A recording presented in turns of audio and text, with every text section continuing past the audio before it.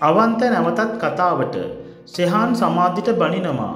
ඒක දකින සමාධිගේ අයියා රොෂාන් ශෙහාන්ට ගහන්න යනවා. සමාධි අනුවස් එක්ක ග්‍රවුන්ඩ් එකේ කතා කර කර හිටිය කියලා ශෙහාන් දැනගන්නවා. ඒ ගැන අහන්න ශයාන් සමාධිලක ගෙදර ආවම මම යන තැන් ඔයාට කියන්න ඕන් නැහැන කියලා සමාධි කියනවා. ඒකට මලපයින ශයහාන් කියනවා තමුසට අනිත්තුන් වගේද මාවත් පේන්න කියලා. ඒක දකින ශයහාන් එතනට එනවා ඉතින් ශයහාන් රොෂාන් අතර වලියකුත් යන්න තියෙනවා. ඉතින් ඔය සිදුවීම නිසා ශයහාන් දැන් ඉන්න රොෂාන් එක්ක තරහින්. ඔය සිදුවීම වනාට පස්සේ රෝෂාන් සමාධිත් එක්ක අනුවස්ලක ගෙදර යනවා. ඒ වෙලාවෙ මයික් කියනවා මේවා ගෑනු ළමයිට යාදන ගෙවල් නෙවෙයි කියලා. ඉතින් රොෂාන් උදේනියම්මත් එක්ක කතා කර කර ඉන්නකොට සමාධි අඳමින් අනුහස්ට ශෙහාන් කරපු දේ කියනවා. ඉතින් ඒ දේ දකිනවා අනුවස්ගේ අම්මා.